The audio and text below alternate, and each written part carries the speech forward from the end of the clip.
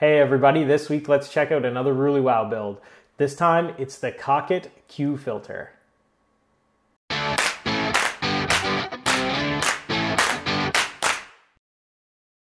So I'm up to my third Rullywow PCB build review, and this time we're looking at the Cockit Q filter board. A Q filter, the best way to explain it is to think of a wah pedal.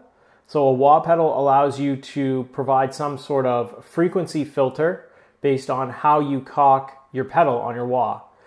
What a Q filter pedal does is exactly that same thing, except it replaces the foot pedal with control knobs.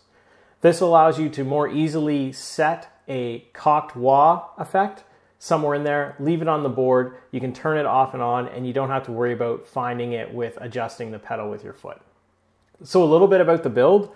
Like every other order from Rullywow, all you're going to get is the PCB, which here you can see is this green one that fits nicely into a 1590B case.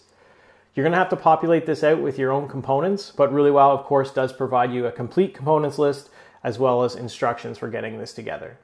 I'm not going to go into everything with the uh, schematic for the circuit. I'm just going to let you know that there's a lot of op amps here that are performing filtering functions um, you have some internal controls to adjust the frequency filter as you see fit as well. So turning it around to the outside of the pedal, you can see we have three controls. One is the volume. That's easy enough to explain. You turn it up, your volume goes up. You turn it down, your volume goes down. Uh, the other two are called Q and peak. And to understand what these do, I think we need to take a little bit more of an in-depth review of what a Q filter actually does to your input signal. So a Q filter or a wah pedal is essentially a bandpass filter. Um, the easiest way to explain this is to probably think about our low pass filters and our high pass filters. So a low pass filter is going to pass anything that has a frequency below a certain cutoff. So this is used to essentially cut treble out of your signal. A high pass filter does the opposite where it's going to cut bass out of your treble. So all the high frequencies are passed or your treble frequencies.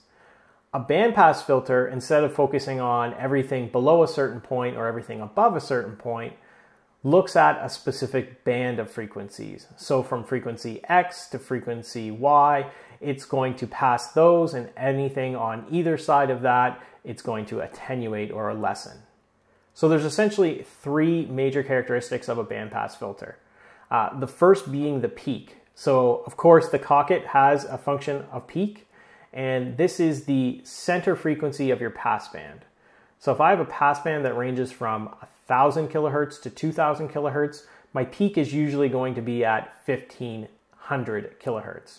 Now I say usually because not everything is symmetrical in signal processing, so sometimes that peak will uh, sit on one side or the other of that center frequency. Now one thing to know is the peak on the Q filter here is the same as what is being changed when I adjust my foot pedal on a wah pedal. The second major characteristic of a bandpass filter is its bandwidth. So in an ideal situation, the bandwidth would be equal to the width of the passband. So if I have that 1000 to 2000 kilohertz passband, my bandwidth would be 1000 kilohertz in an ideal situation. But of course, in a real situation, you're not going to get that sharp cutoff. You're going to get more of an attenuation on either side. So what we do is we measure the bandwidth at a negative 3 dB uh, cutoff frequency. So once our amplitude has dropped negative 3 dB, we measure that on either side of the passband, and that's how we calculate the real bandwidth of a real signal. So the third characteristic of a bandpass filter is its Q. On the Cockit, we have a knob for Q. And this is essentially a ratio of your peak frequency over the frequency of your bandwidth. So you can think of this as if the Q goes up, your bandwidth is either shrinking or your peak's increasing, or if your Q goes down, your bandwidth is widening and your peak is lowering, one or the other. Um, the easiest way to think about it with the Q is as I increase the peak, I'm narrowing the number of frequencies that I'm allowing through on either side. And as I decrease it, I'm allowing more and more frequencies through. One thing to note about the Q, maybe when referencing it to a wah pedal, a lot of wah pedals will just simply have the Q set and then allow you to adjust the peak with the foot And then some of the newer wah pedals will allow you to adjust the Q on the side, set it, forget it, and then use your foot pedal to adjust the peak. So now that we know a little bit about bandpass filters, I want to show you guys this in practice using the Cockit by Rullywow. Uh, we're going to plug this in, give you guys some sounds, and hopefully you'll see how a bandpass filter works. And on the musical side of it, what kind of cool sounds you can get out of the Cockit by Rullywow. So I've got my Telecaster in my hand here, and I'm going to run you through the functions of the Cockit by Rullywow. Uh, as you can see, we've got three knobs here, the volume, the Q, and the peak. Uh, from my uh, earlier comments, obviously you guys should have some idea what each of these controls will do. Uh, set about halfway. We'll probably keep it there for this whole demo, play around with the Q and the peak, and see if you guys can figure out what's going on here. So to start, let's get a clean sound.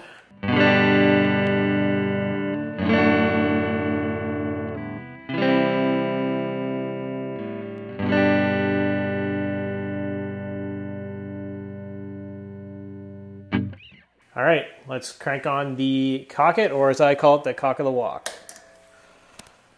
So right now the Q is about halfway, and so is the peak.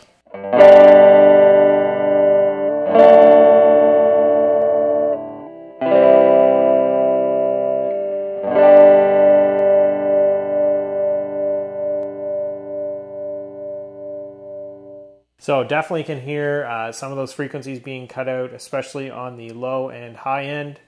Um, not a lot of bass, not a lot of treble there. Uh, I guess that's the midway point for this pedal. So let's look at moving the peak. We should get a lot more treble if we crank up the peak the whole way.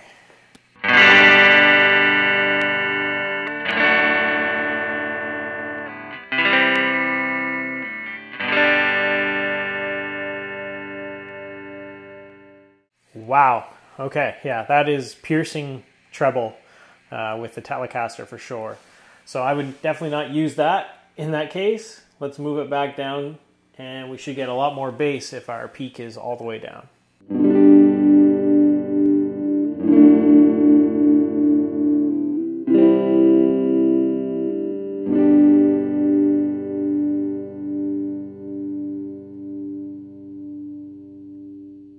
All right, and I should mention I'm in the middle position with my Telecaster here, um, and I've got Texas Special pickups in it, so they're pretty high output pickups.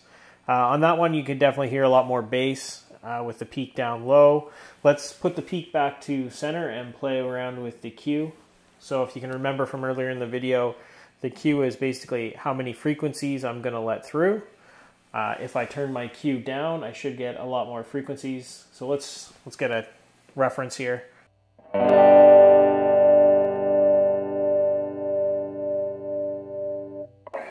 So let's take a look if we turn the Q down.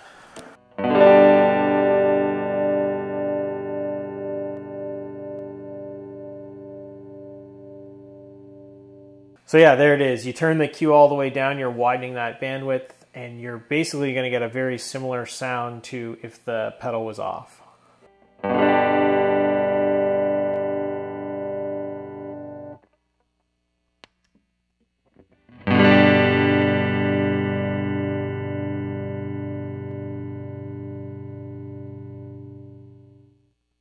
So yeah, some volume difference there, but for the most part, very similar sound frequency wise.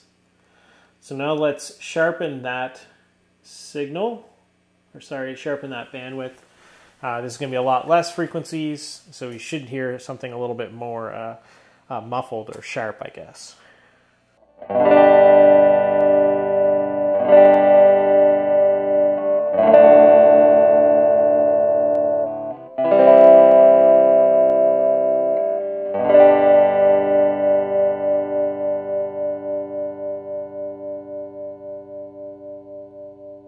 And back just for a reference on that.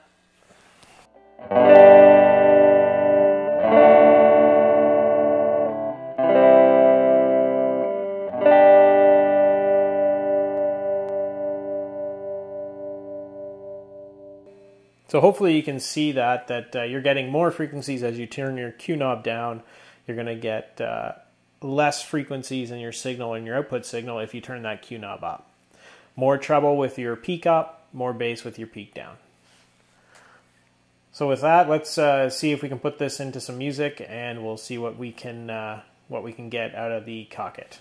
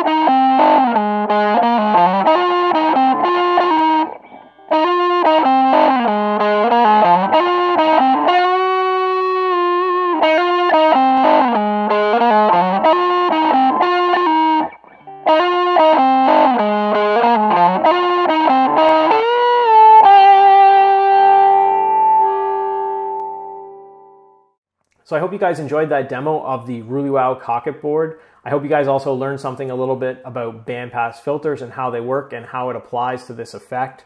Uh, I would definitely recommend checking this out. It's not something you're going to put on every single pedal board, but it's definitely something that you'll have some fun playing around with and can liven up some solos as well. Obviously, if you have a wah pedal already, this might seem a little bit redundant, but the ability to adjust the Q and also the ability to set it and forget it is definitely something that you might be interested in as a musician. Uh, the cocked wah effect is used in a lot of different places, and this is one way to get it without having a wah pedal. So with that, I'm to leave it for this week. If you guys have any questions on this build, I'd love to hear it. You guys can comment below. Make sure to like, subscribe, and we'll see you next time. Thanks a lot.